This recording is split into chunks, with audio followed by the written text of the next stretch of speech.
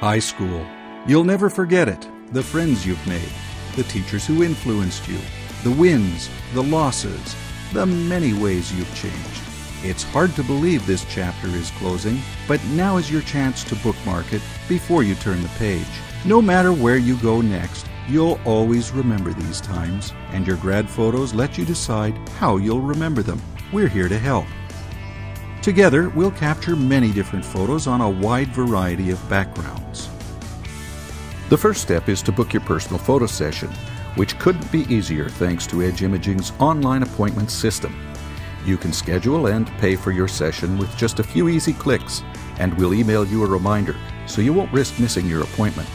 So, what do you need to know before your session? The most important thing is to show up early. Showing up early will give you an idea of what goes on during your session. If you miss your appointment, you'll risk being left out of the yearbook. Get ready before you get there because a last minute hairdo is probably not your best look. And don't forget, you'll be wearing a grad cap, so plan accordingly. Lastly, remember to bring your sitting fee to the photographer to cover the cost of your personal photo session.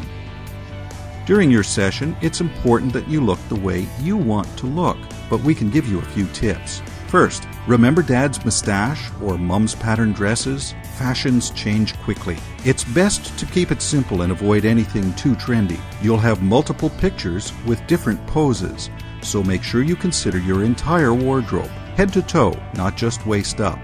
Please note that if you normally wear glasses, they may or may not enhance your photograph. So make your decision accordingly.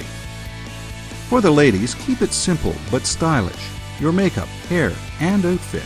Go for clean, natural makeup, a fresh coat of classic or subtle nail polish, and bring a white colored dress shirt. Jewelry can be distracting and make your photo look dated, so simplicity is the key here too. Now, for the gentleman, try looking a little better than just any other day. You'll need a freshly pressed white shirt and a properly fitted collar, and yes, a dark tie. Stubble may not be an in look in years to come, but a clean shave is always a sure bet. Once your session begins, we'll start with the traditional poses, because you know your grandparents will be disappointed if they don't see you in that grad gown. We'll supply all the classic props the gown, the cap, the diploma, and roses. Keep your wardrobe neat. Remember to bring that white collared dress shirt, and we'll be sure to make them proud.